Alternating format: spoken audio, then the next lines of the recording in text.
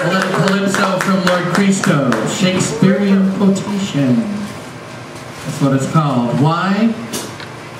Why the why the lake in the middle? Because it's what William Tell. I knew that. I knew that. I was